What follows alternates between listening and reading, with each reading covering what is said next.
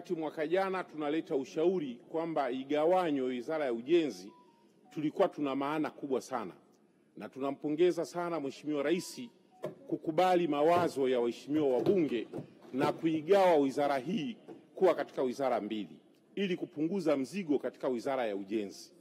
Sasa wizara hii imebeba sehemu nyingi sana, imebeba idara nyingi sana za kiuwekezaji.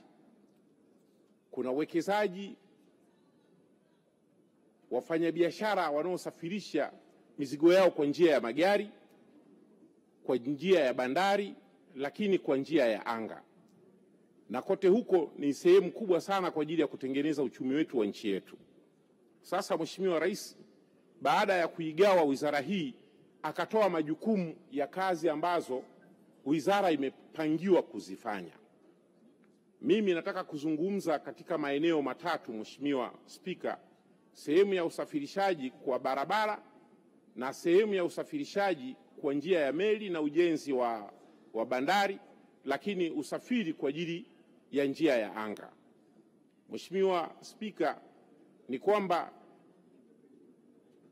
uwanja wetu wa Dodoma sasa hivi pamoja na kuwa mdogo uwanja wa Dodoma, lakini bado hatujaufanya kuwa bize kwa ajili ya biashara. Kwa mfano, mpaka sasa hivi Mheshimiwa Spika, tulikuwa tuna ndege ya kutokea Dodoma kwenda Mwanza. Hii ndege ikawa imeondolewa na bado ilikuwa inapata abiria, na ni kama vile kuwazuia watu wa kanda ya Ziwa wasikutane na wenzao watu wa Dodoma na kufanya shughuli zao za Dodoma kwa haraka. Waheshimiwa wabunge wote wa kanda ya Ziwa tumelalamikia jambo hili, lakini serikali haitaki kusikiliza kilio cha wabunge. Wananchi wanalalamika, watumishi wa serikali wanalalamika, shughuli nyingi za serikali ziko hapa, na ili uweze kufika Dodoma kwa haraka unatakiwa katika ofisi ya waziri mkuu, unatakiwa katika ofisi ya waziri wa fedha, unatakiwa ofisi ofisi zote lazima uje Dodoma kutokea kanda ya Ziwa. Sehemu ya karibu, anayetoka Simiu, anayetoka Shinyanga, anayetoka Mara, anayetoka Kagera, akitaka haraka aje Mwanza achukue ndege, anawahi kufika Dodoma. Hii Mheshimiwa Waziri, kama leo hutakuja na majibu ya ndege ya Mwanza unairudisha lini? Ulitueleza kwamba ndege tukipata ndege nyingine tunapata ndege ya Mwanza. Ndege imeisha kuja na Mheshimiwa Waziri Mkuu kapokea ndege. Wana Mwanza tumeona hilo. Sasa kama hutakuwa na majibu, mimi leo shilingi itachukua, japo ni ndugu yangu sana. Lakini la pili ni swala la ndege kutokea Dodoma kwenda Zanzibar, Dodoma kwenda Arusha, Dodoma kwenda Mbeya, Dodoma kwenda Kigoma. Kwa nini tutaka kuvunja kuuvunja huu mji? Utakuwa lini mji wa Dodoma? Leo mpaka mabasi yanatembea usiku, lakini sisi watu wa anga tunayo ndege yetu inayotokea Da- Dar es Salaam Dodoma. Kwa hiyo nyinyi mmeipa mmetoa kipaumbele kwa ajili ya Dar es Salaam Dodoma tu, mikoa mingine haina hadhi ya kupata ndege. Hili jambo sio sio sawa sawa. Mheshimiwa Waziri, tunakuomba sana. Mheshimiwa Waziri, kuna jambo la usafiri wa barabara. Usafiri wa barabara kumekuwa kuna matatizo makubwa sana, hasa katika mizani zetu. Najua mizani hizi ziko Wizara ya Ujenzi, lakini wewe unadili na uchukuzi ni kwamba lazima ukae na waziri mwenzio kuhusiana na swala la mizani.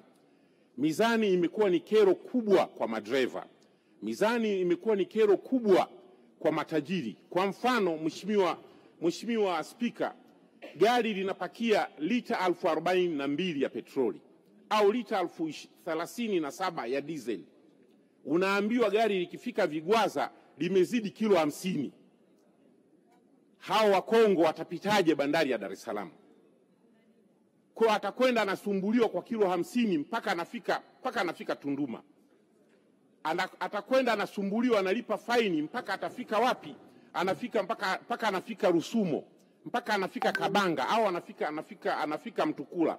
Hili ni jambo ambalo lazima mkae muangalie, na anaambiwa dereva ayapange mafuta vizuri. Mzigo umekaa vibaya, umezidi mbele kilo mia moja na ishirini mzigo umefungwa siri na watu wa TRA.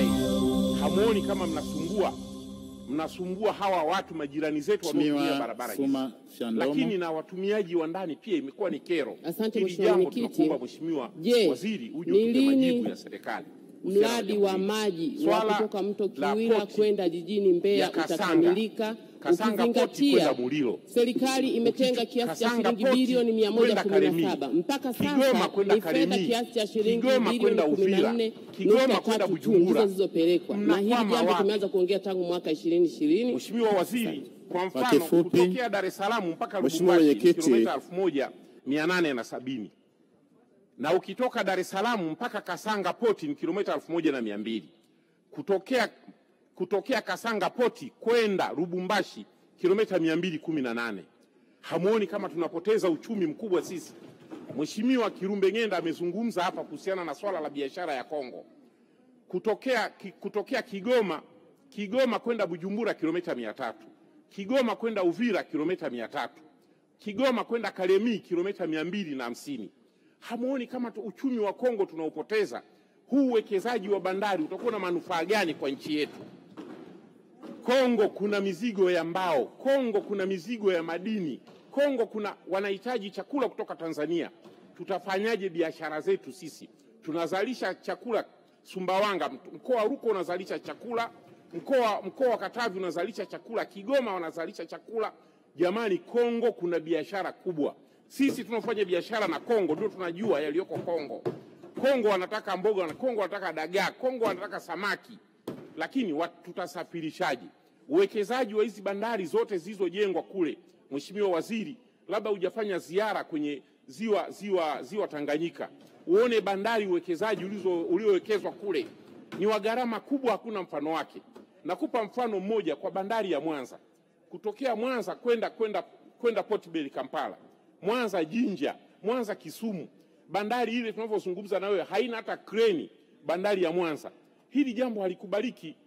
Tumekwenda pale na Mheshimiwa Waziri Mkuu amekwenda kuona kwanza, hata hii meli ya Mwanza MV Mwanza hapa kazi tu haina gati. Nimekwenda pale na naibu waziri wa uchukuzi tulikuwa naye, hakuna gati pale Mwanza. Meli inatakiwa ikabidhiwe mwezi huu. Je, itatumia gati lipi, Mheshimiwa Waziri? bandari yetu ya Mwanza tunaonewa. Mwanza bandari ile hailingani na hadhi ya Mwanza. Tunaomba sana ukija hapa utupe majibu, lini utaboresha bandari ya Mwanza? Hizi bandari zetu zote zinatakiwa kufanya kazi. Tunahitaji kutengeneza uchumi wa nchi hii kupitia kanda ya Ziwa, na sisi kanda ya Ziwa ni wahanga, tunapelekewa treni ya mwendo kasi.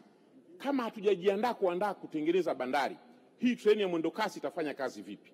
Lakini tuna meli ambayo Mheshimiwa Waziri mikataba yake ilisainiwa kwa ajili ya kubeba makontena ya kusafirisha kwenda Kisumu, kwenda Jinja, kwenda kwenda Port Bell Kampala. Hatujui na yenyewe imekwama wapi. Sasa tunajua kwamba mipango mingi ya serikali mizuri, lakini hawa wawekezaji wetu pia tunataka tujue sasa namna gani wataweza kuboresha bandari yetu ya Mwanza. Baada ya kusema haya, Mheshimiwa Waziri, pia nataka nikukumbushe tu Mheshimiwa Waziri, swala la stesheni ya Fela stesheni yetu ya Fela mpaka sasa hivi ni kwamba inatengenezwa stesheni ya Fela, lakini eneo lile la Fela pale kuna, hek, kuna hekta mia tano hekta mia tano zimewekwa pale.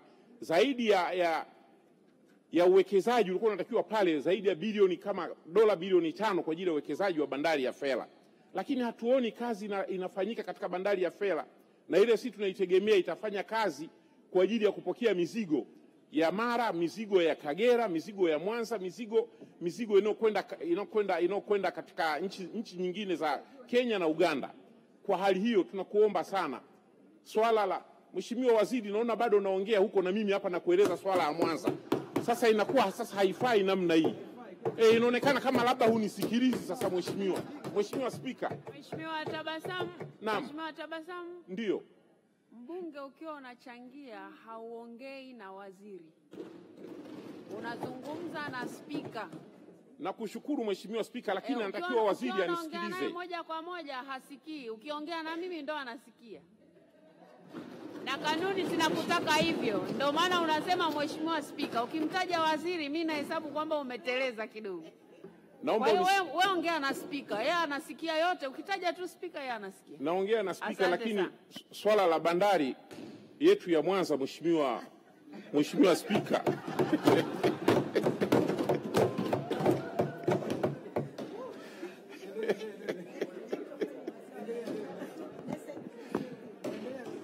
nakushukuru- nakushukuru Sekunde thelathini malizia Mheshimiwa Tabasamu. Mheshimiwa Spika, mimi namshukuru Mheshimiwa Waziri kwa kutuboreshea uwanja wetu wa Mwanza. Huu uwanja wa Mwanza ulikuwa umesahaulika sana, kwa hiyo tunakwenda kupata international airport kutoka Mwanza, na pia nampongeza mtendaji mkuu wa viwanja vya ndege wakili Musa. Mwenyezi Mungu amjalie sana kwa kukubali kutengeneza uwanja wetu wa Mwanza. Mwenyezi Mungu amjalie sana. Asanteni sana. Asante sana. Naunga mkono hoja, Mheshimiwa Spika. Asante sana.